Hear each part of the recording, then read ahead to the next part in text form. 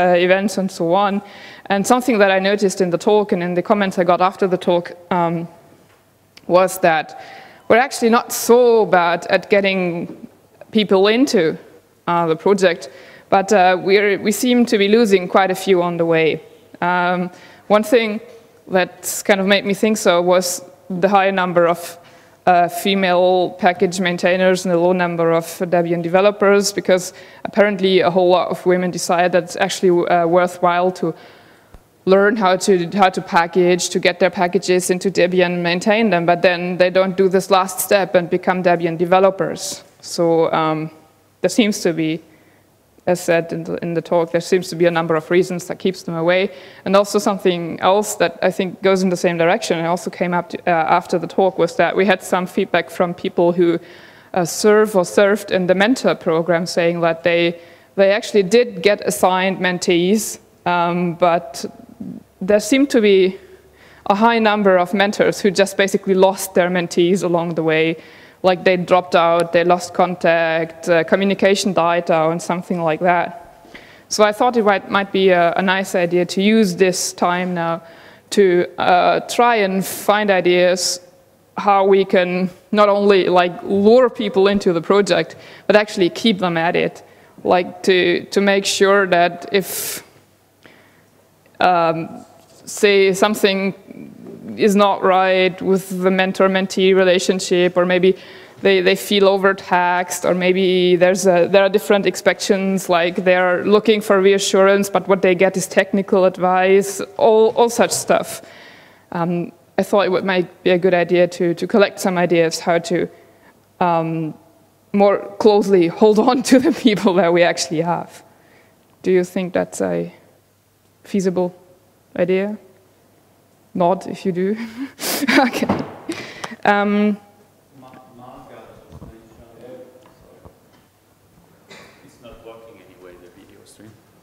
Yeah, Ma Margaret just mentioned that the mentor, about the mentor program, which you mentioned. Uh, we also have very little information about it. So yeah, I'm we just relaying what's, what mm -hmm. she's saying. Okay, so you, we, we should advertise it more, is what you mean? Or what she means? Possibly. I need to type back. Ah, yeah, all right, yeah. okay. Um, yeah, I mean, I, I, don't know from what time the feedback that I got about the mentoring program was, whether it was like two years ago or two weeks ago. So, um, yeah, maybe, yeah, maybe, maybe the mentoring program is a good point to start because it's quite well defined. I mean, people do approach us by, by their own accord. They say, well, I'd like to get a mentor. They're assigned a mentor. And then I think the usual thing that ensues is that a few mails um, are exchanged uh, of a very general nature, saying, well, so um, I'm your mentor, I'm, I'm, this and that person, and this is what I do. And the mentee then introduce, introduces herself. And then I think often you already get to a dead stop because then the mentor says, so what do you want to know? And the mentee is very much like, well, I don't know anything, you know, like Debian. And so maybe it would be would be a good idea to give the mentoring program a bit more more structure, you know. Um, to so that it's not actually left to mentor and the mentee to come up with a kind of program or agenda that they want to follow. Um, Marga's talking still on, uh, on IRC, she mentioned that basically none of us knows what's going on with the mentor program except the mentor admin. So she says basically, if I understand well, that we need to advertise more the mentor program inside, I would say, ourselves, so those people who feel involved in Debian Women. Mm. Yeah, I think so far really uh, the only place that the mentoring program is mentioned is the web pages uh, the Debian Women web pages, and then we usually always like mention it when somebody does a talk.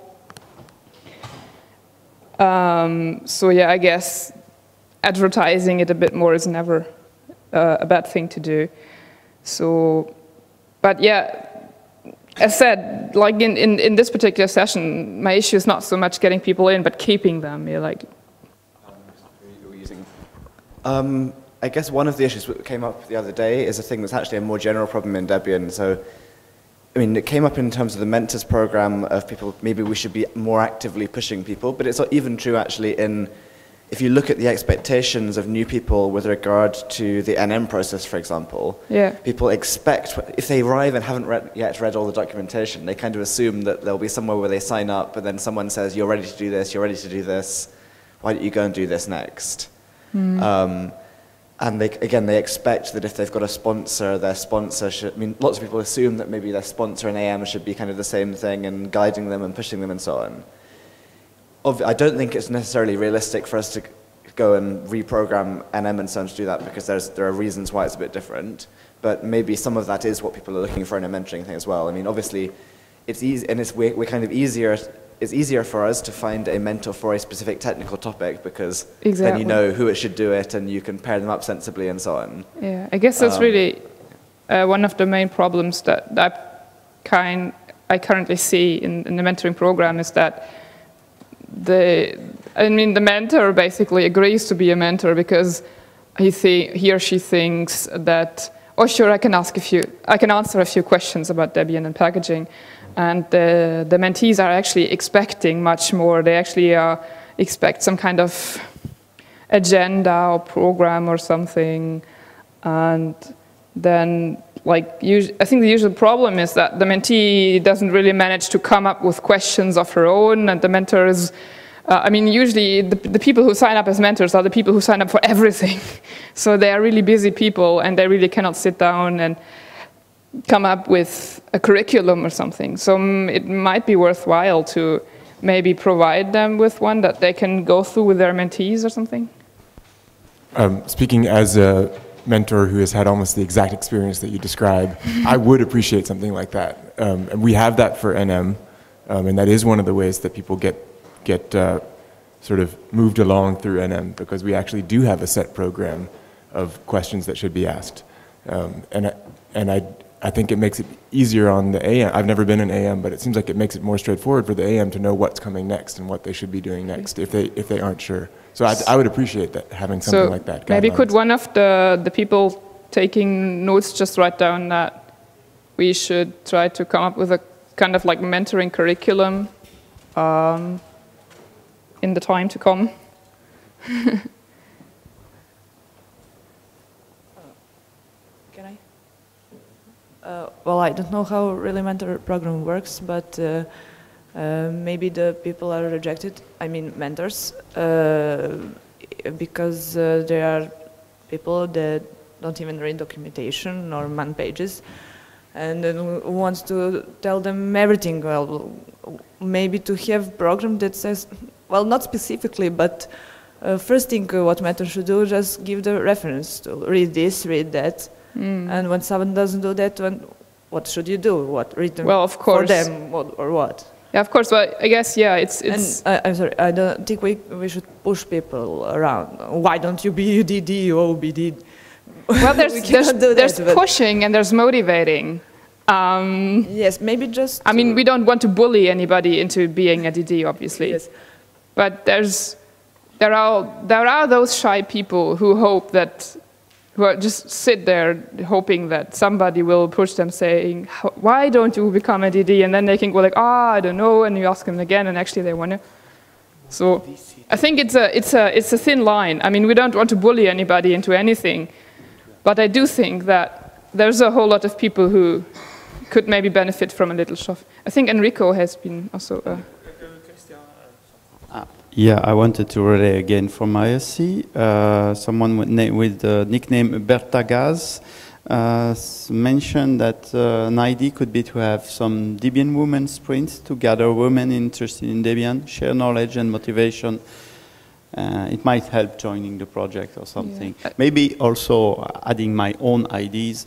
Uh, this mentor-mentee stuff uh, Mm. could maybe with meeting in real life, something like that could work better. If- I don't know. if possible. I mean, we did have we did have uh, bug squashing parties in, in in the very past past, We did have like Debian women bug squashing parties, um, but they were virtual.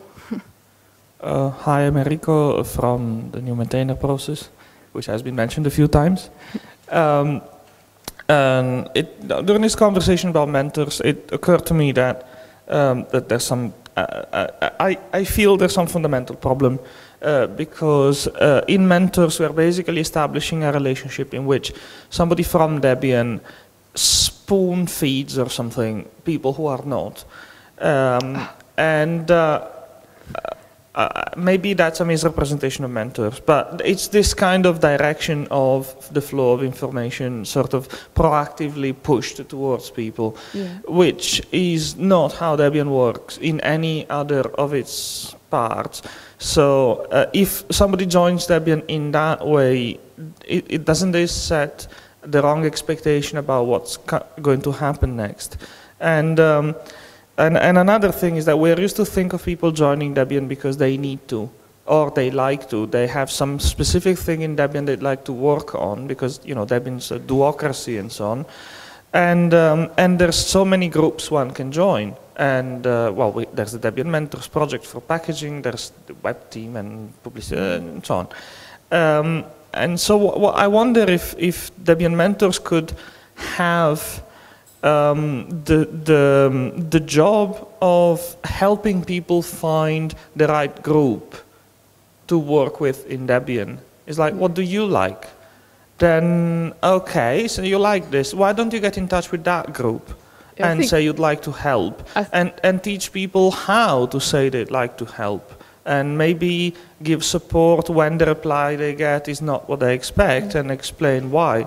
Kind of mentor into into the social in working of Debian because we cannot teach how Debian works. Um, I believe it's similar to teach people what Tao is. Mm. Debian works in a similar way, in my opinion. uh, so, but helping people find a place in Debian they're comfortable with, mm. and then that place is usually perfectly able to do the rest of the technical mentoring. I, I think uh, I partially agree with that. Like, I've had the same thing where I really just pointed a lot of uh, people to to respect to the respective groups, saying, well, um, if you want to do, if you want to become a translator, please join the respective mailing list to say hi and so. But um, there's also uh, a, a group of people who basically approach you and they want to join Debian, and you say, okay. Um, what field of Debian would you like to work in? And what they say is, um, oh, I don't know, wherever I'm needed, I just want to help. You know, just like this super undirected, just wanting to help kind of attitude. And um, so they don't have this particular thing. They don't have a beef with a certain package that they want to want to see taken care of, or a certain language that's not supported well enough. They just see Debian as a whole, and they want to be a part of it.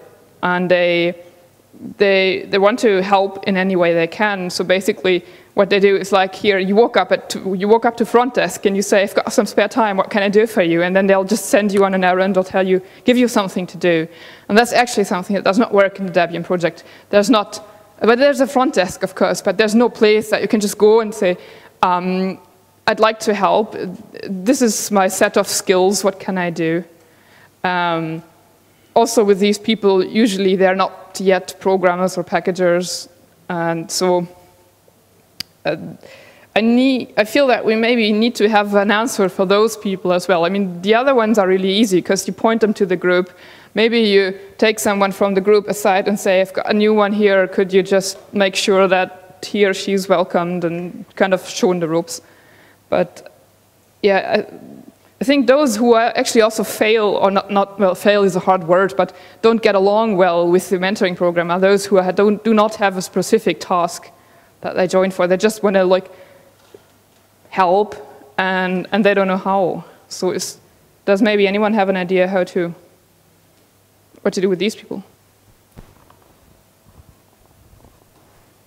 I, I, well, I, I agree that it, I mean a good thing is if we can point people to the right group in wider Debian. Though I just point out that one thing we've done in Debian Women in the past that did work to get people involved was to have some kind of mini projects that started off within the Debian Women fold. So, for example, there was building the acronym dictionary. I mean, even think, things like working on the Debian web, website, Debian Women website itself, Yeah. things like this, which obviously are not. You don't necessarily want people to end up having that as their only involvement in Debian. Yeah. But if people are just starting off, it's kind of nice if they can have something that they feel is, well, where everyone involved is trying to get other people involved and is open to this kind of mentoring approach and so on. Um, I mean, it's a bit easier than compared to just saying, um, I don't know, the, the kernel team really needs some help. Go So and work on the, go and work with them. So maybe it would be good to collect a set of issues or things to do that, that can then be tackled by uh, a mentor and the, uh, and the mentee. So if the mentee says, oh, I don't know, the, men- the mentor has a set of uh, things to, to choose from or to pick from and can say, well, why don't we tackle this and, and try, try ourselves on that. I think you need to do both have a list of short tasks, but also uh, uh, define the larger part of the project where the mentee will join. Because, well, all teams could have sort of small tasks to join, but Yeah. uh, uh, usually it requires quite some mentoring to, to start, and uh, you don't want to invest time if that person is only going to do that task and then go away. That's at least my own experience. I tried several times to give small tasks to people and say, "Oh, help me." They sent a first patch and never show up again. And I did spend several rounds of emails exchange with those people to get them to produce that proper patch. So, maybe it would really be worth to like have a kind of like practice projects that are rather Debian women internal, maybe even like the acronym dictionary, um, so that people can like try themselves on it. And if they feel that, for example, translation really is their thing, or web pages, or WML, whatever, and they, they felt they, they've tried this and they've been somewhat successful, and then we after that, we can then maybe point them on to the teams and say, well, Oh, I would love if you could prepare trainee and give them back to me once they're good. well, I mean, we don't, we don't, I mean, we don't want our mentees to, you know, get get some kind of bad reputation or something like, oh no, it's a Debian women mentee. Oh, like so, I mean, we're doing everyone a favor if we do train them properly before sending them out into the teams where they are actually expected to work quick and work well and all that. So maybe we could um, we could uh, just take down in the minutes that we might try and find a few projects or collect a few projects that uh, could serve well as a selection of things to do with a mentor and a mentee. Yeah, another, another remark from IRC from uh, Marga. Uh, for people who don't know Marga, this is Margarita Manterola. Um, she's mentioning about this mini project stuff, etc. Uh, that, uh, that yeah, that's good idea, but it always needs someone to lead them, and otherwise it fails. Well, course, yes, of which course. is obvious. I'm sorry to come back. yeah, and I know it's, but that such is the nature of virtual communication. It's not real time. Yeah, but uh, well, I guess yes, such a such a mini project always should be tackled with a mentor on the side. Um, that that for sure. Uh, maybe it would also be a good idea to, um, like, at repeating times, contact the mentors and the mentees maybe even individually asking like so how's it going? Are you still at it? Are you um, are you getting along well? Is there anything that you feel is not working out? So as so that maybe I mean I'm, I'm imagining this but maybe it's uh, it often happens that there's or maybe it does happen that there's a mentee who's not happy with her mentor and doesn't really know whom to turn to and then sh- she just goes away. And so maybe if you like every i don't know every month or every two months or something. I mean this is really slow communication going on mostly. We can just like you know butt in say hi how's it going? Everything okay with you guys? Um, are you still at it? Something like that. Can see if i can make this a bit more readable. I'm afraid not. Um, right so Maybe to, to move on to the other topic, which is really not that far away, uh, would be the, the, the ladies who are already Debian maintainers and have so far um, found no use or no reason or no motivation or no courage or whatever to uh, go the whole way and become Debian developers? Do we, I mean, maybe the first question should be, do we consider this a problem at all? Or do we say, uh, as long as they're contributors, we don't care if they're maintainers or translators or developers, and we really just want them to become developers because that's such a nice, easy number to count and such a, such a good way, such an easy way to show success. I mean, if that's the case, um, I'm okay with that. if we say, as long as they contribute, we are happy. But my personal feeling is, as I said in the talk, that being a DD is not only like carrying this kind of like status-laden Debian badge on your breast, it also means like to really identify with the project, to become a citizen of the project, to, to vote, to pr propose votes, to, and all that, to elect a leader. So in my view, it's something that you should do. But if you as a group tell me, no, as long as they contribute, you're fine, I'm fine with that also. I just want to, basically affirm what you what you've said. I'm DKG. Um, I I do think that the that people can contribute and can significantly influence our culture because we are open enough without being an official Debian developer. But speaking as someone who plans to participate in future votes, I would really like it if the electorate was um, more balanced in terms of who's actually using the project. Um, and, I, and so I actually do think that it's important for people to continue through the process and make it to Debian developer status. Other, other thoughts on that? Or?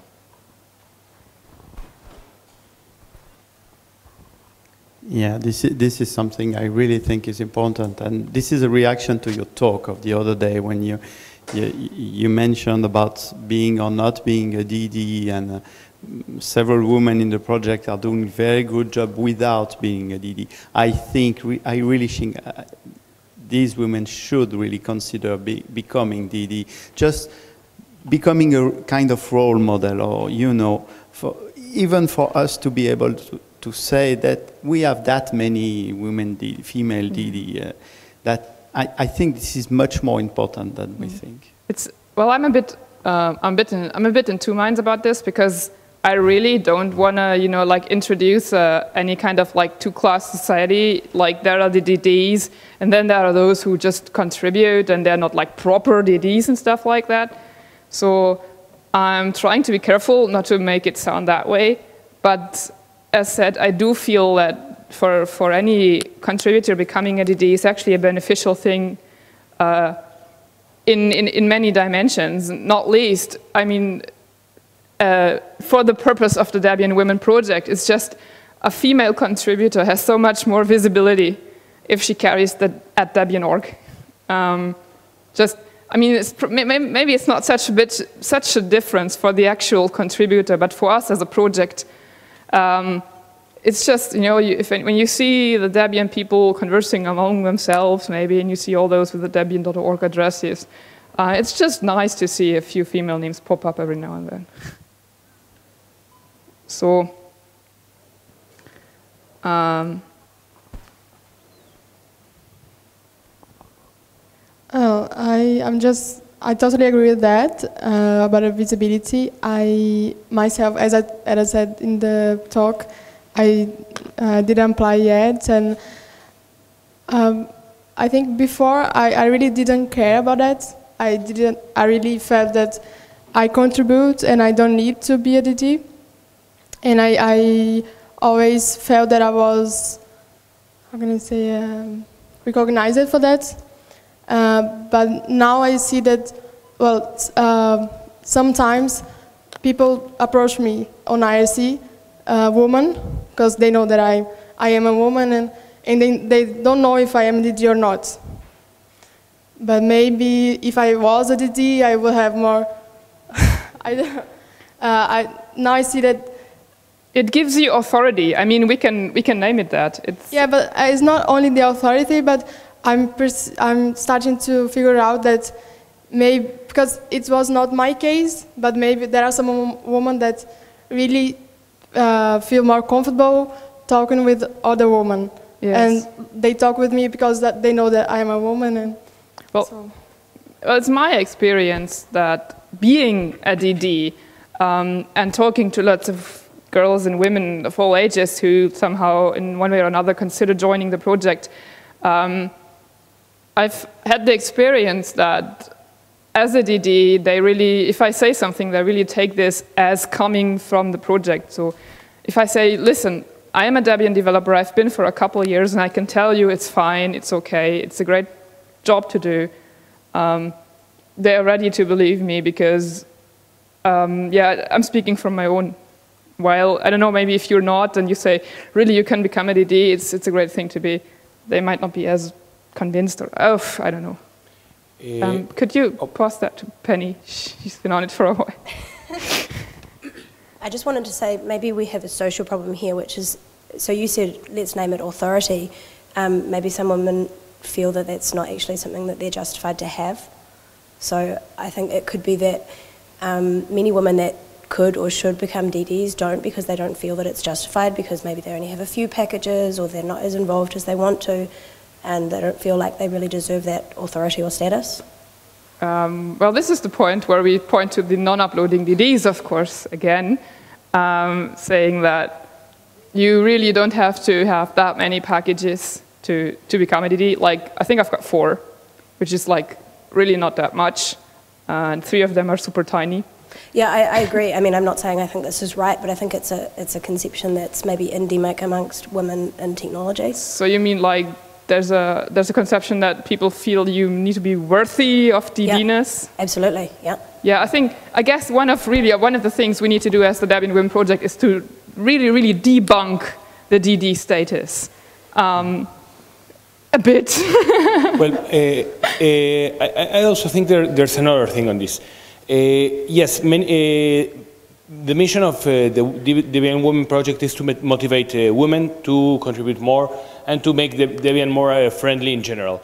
But then again, well, being a DD is a commitment. Yes. Many people want to contribute, but don't want to be so committed. So, uh, I mean, I'm not saying uh, let's uh, stop motivating people to become DD, but not everybody will. Yeah. The, well, that's why I, why I always have this thing in, when I do a Debian women talk, I always make a point of pointing out that Debian women is not about affirmative action. It's not about getting as many women shoved into DD status as possible, uh, as long as their packages meet some minimum amount of quality. Um, so, you, yeah. yeah. When we talked about uh, worthiness to be a DD earlier, I, I, I, think we should remember that this is not just a, not just a women-specific issue. For instance, uh, I know for a fact that uh, Jonas um, Smedegaard um, beca only became a DD after somebody told him, "Yes, you're worthy of it, and you should should go forward." And I think if we if we try to make this clear, not just only to women but to to anyone, it will benefit both genders, and that would be a good thing. Um, it's, it, it, it's definitely a problem that people think uh, I'm not worthy of this, um, and it's, well, it's, it's been uh, uh, one of the nice qualities, I think, of the Debian Women Project, that all the things we did have always, we did them for women, but they, in the end they always turned out benefiting the project as a whole. So um, the, if, be it the mentoring program or the stuff in the wiki or the IRC tutorials, uh, we aim them at women, but we always have at least half of the attendees being male. So I think I mean, such, such people, be they male or female, would probably benefit from that either way. Uh, uh, well, you say people think that they are not worthy. Well, it's because uh, maybe they know the amount of their knowledge. I mean, I, I don't know what what is uh, what do we supposed to know to be a DD. I mean, I have one package. Oh yes, I want to be DD. Of course, I wanted to be DD. Uh, first time I installed Debian. oh, I want to be DD so much, but of course I cannot and uh, I still cannot because uh, when someone uh, comes to me and says, "Oh, you're a DD, please help me with this," and I say, "Oh, but I don't know that. Well, ask that, someone else." That, that's actually not something that you need to do. So. Um, it's totally one of the few one of the things that you say most often as a DD is, "I'm sorry, that's not my package," um, because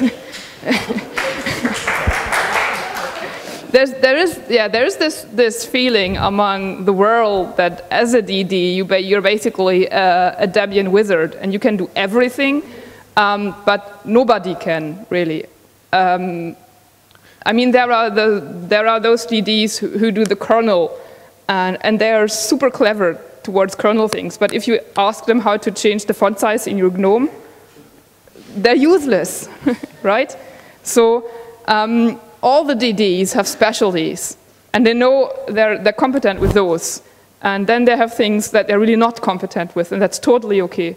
Because you don't need to be an Uber DD or something. You just need to be good at what you do, which is why you chose that particular topic. Actually, there are two good things in this. For one, uh, you make people aware that you're not one of those who know everything, and make them aware that even DDs are only human and that they, that they don't need to feel shy to address Debian developers because they are some kind of clever person. They also lack knowledge in certain fields.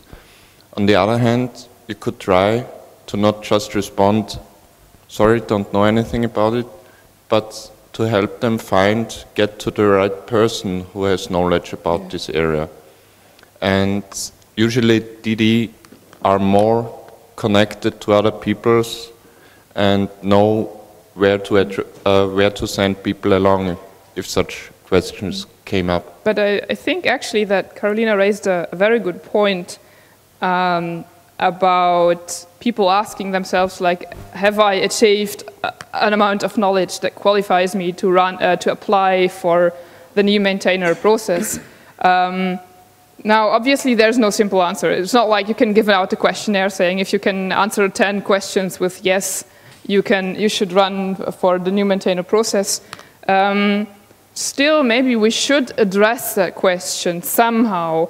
Uh, maybe in the Debian Women FAQ or in the new maintainer FAQ, if there is one, or something like that, and just um, try to answer that question somehow, saying, well, you can, um, you, so you consider becoming a DD um, ask yourself this, is there a field of Debian that you've been working in actively and continuously? Um, are there people who have recognized your work as beneficial to the project or as useful? Um, if so, do apply. And I would really say to, to, to do this on such an abstract level, like not do you speak three programming languages, but uh, have, you, have you done a kind of contribution that's been useful, and have you done it for a while? Maybe a year or something, I don't know. Um, Francesca, can somebody give her a microphone? I'm sorry, you, Daniel, you wanted to say something. sorry.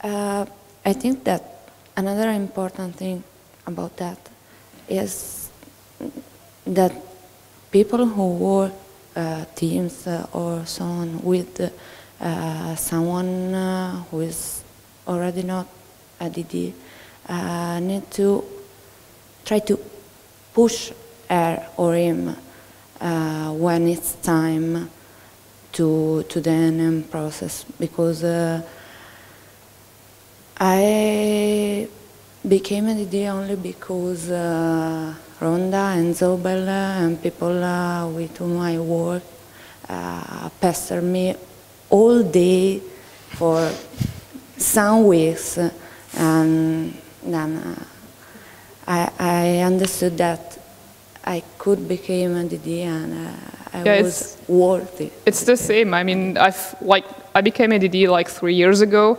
Basically, I was also uh, forcefully motivated Um, so I did apply, and I've never looked back. Like I don't regret. I was at the time I thought, oh, I don't know, maybe in a year or two. but then they kind of pushed me, and I went for it. And I never thought I, I joined early, or I'm not knowledgeable enough, or anything like that. So do do apply, do apply. Um, I just wanted to point out that we've been talking a lot about people feeling like they need to be worthy to contribute to the project, and there's sort of two points that I want to make on that. One is that from the new maintainer process itself, I learned a lot. Oh yeah, exactly. So, so, that means that I there was a lot that I didn't know before the new maintainer process, and obviously there's still a lot that I don't know. And so I think we should make it clear that the application to the new maintainer process is not oh, I'm already good with everything that's ready for the project. You'll learn as, as part of it. And then the second thing is that um, in terms of worthiness, uh, what you, I, th- I really think that what you said about is there a field that I've contributed to for a while, the interesting part there is for a while. Um, are people committed to the project? In my mind, that's what makes you ultimately worthy of being a DD, is that you're committed to the project and that you want to see the project succeed. Yeah. And you're going to figure out how to do whatever you need to figure out how to do to make that happen. And so, stressing instead the commitment to the project instead of any particular grandiose goal of absolute technical mastery. Yeah. Um, I think it's important to stress the commitment instead of the technical. Yeah, I mean, it's uh, when I when I did this silly thing with Alex on Debian Day, we did um, for a reason pick a year. We said that we should like have have this ending that kind of tells people uh, what you do, what you need to do, because it's the usual question when you talk about being a non-uploading DD. People afterwards approach you and they ask you what to do, what they have to do for it. So we picked a year because we thought it would be a sensible thing. Um, and I guess it's really something roughly in that in that region to really show that you are like there's a kind of trustworthy, continuous uh, dedication to the project, and that we do need definitely.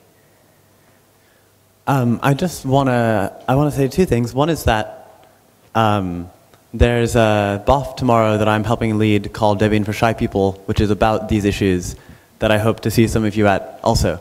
And second is to say that uh, since this is a Debian Women specific BOF, I wonder if Debian Women has any particular goals that it concretely wants to achieve in the next concrete time period, so then I can figure out how I can help best uh, help it achieve that.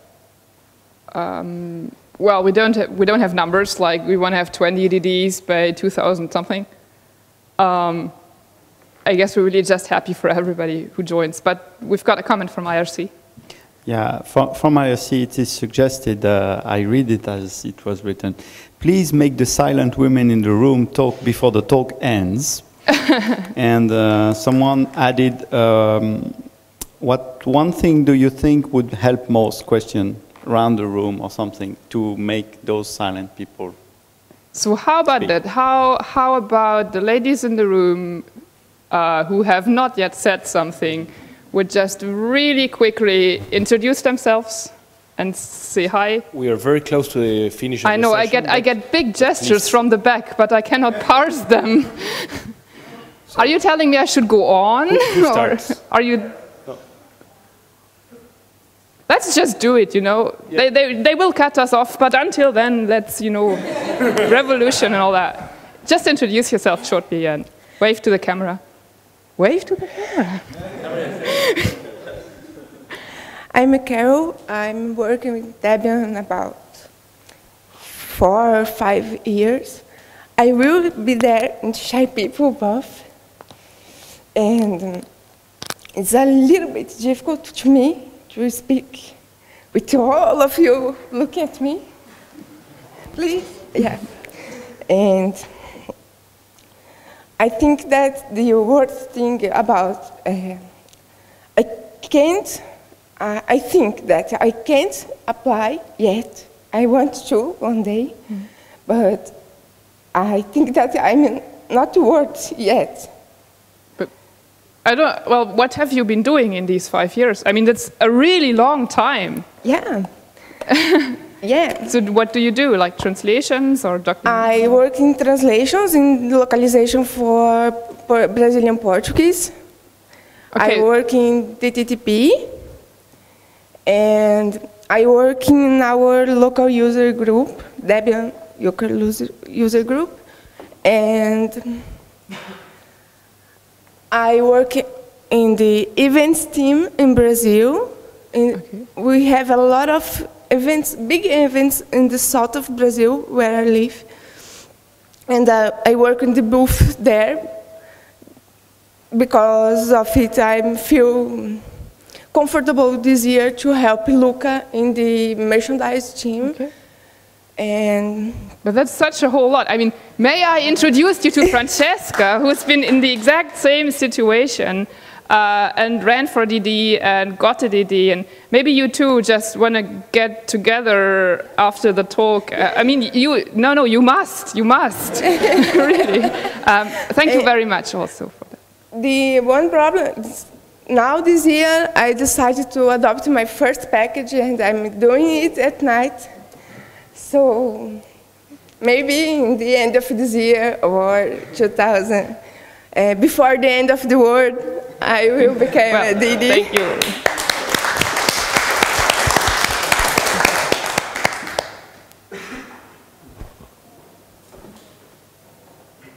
Hello, I'm Alicia.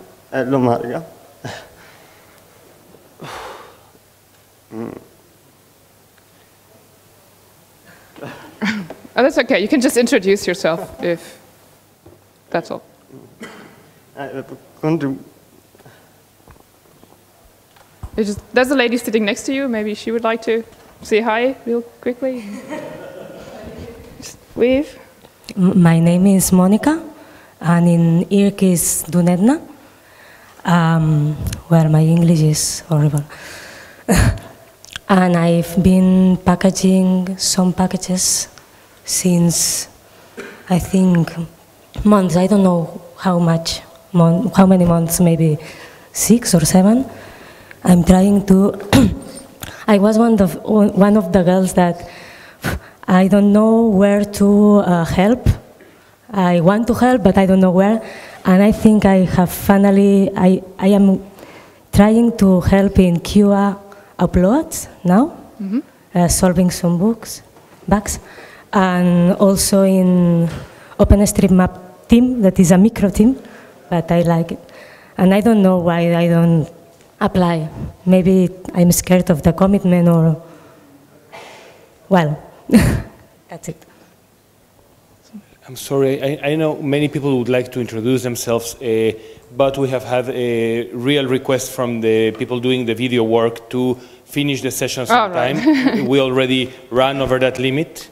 So, uh, well, thank you, Meike, and thank you to everybody, and please continue this, uh, this uh, mutual introduction, uh, introduction and, well, this great Yeah. uh, work you've been doing. I don't know if you have some final words to close with. Again, what? Some final words you, can, you want uh, as a coordinator to close with? everybody who didn't say something, do feel free to approach me or Francesca or Enrique or really anybody in here uh, all the time. We're here all week. I guess Thank is what very I want much. to say.